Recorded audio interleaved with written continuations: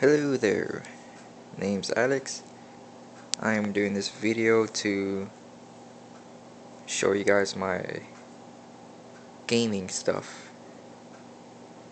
Yeah, not really much to see. As you can see here, I have the Logitech G25 steering wheel on a flimsy, non-sturdy table.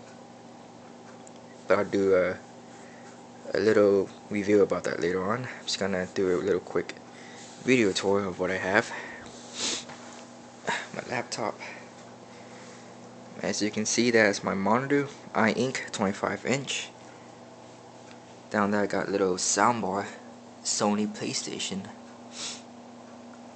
PS3, not enough light, but let's go around it. Gran Turismo 5 Collector's Edition.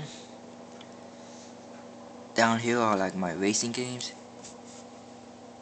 I'll go each and every one of them later on, probably in my later videos.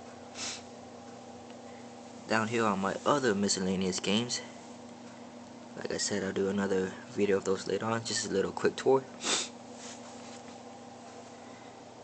Two of my DJ Hero turntables. One of them, I have a sticker on them. Carbon fiber sticker vinyls. Including on my PS3, it also has a sticker vinyl on them carbon fiber. But I just don't feel like taking it out. PlayStation Move controllers.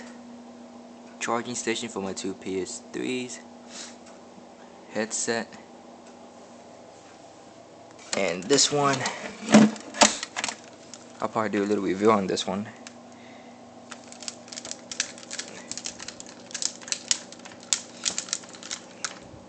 Right here. This is the HKS racing controller for the PS3 USB cable. This controller is pretty awesome. You see these two buttons right here is one for the throttle one's for the brake LED lights up in the middle but in the back you can have like little switch right here in the back. Can't see it due to I'm using the phone before recording this. I'll do a little review of that later. So yeah that's that's an awesome controller.